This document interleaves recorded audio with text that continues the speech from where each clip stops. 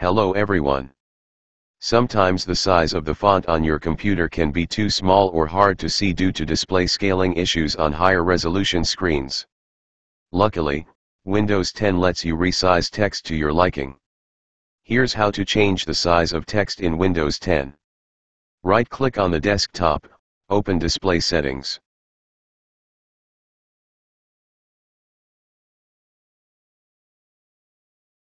Use the slider under the Change the size of text, apps, and other items. This will be scale everything in the UI, including text, fonts, and apps.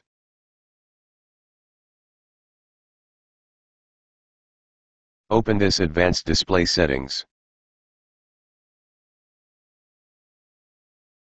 Here you can adjust the screen resolution. Adjust the resolution suitable for you. We recommend that you choose the recommended one and adjust your font and icon sizes to suit you. In Windows 10, you have the option to change the text size of specific items such as menus or icons rather than changing everything on the desktop. Open link advanced sizing of text and other items. It will redirect redirected to control panel. Under the section headed change only the text size, select the drop-down menu and choose an item you wish to customize. Next, select the drop-down menu with the text size shown as a number and choose a new size. Then apply.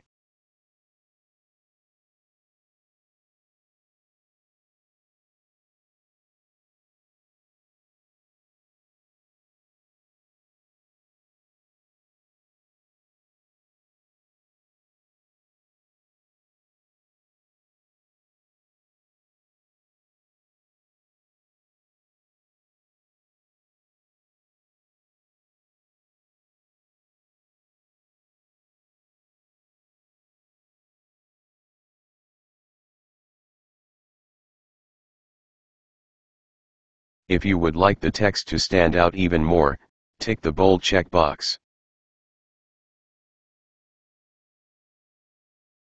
I hope you like, thanks for watching the video.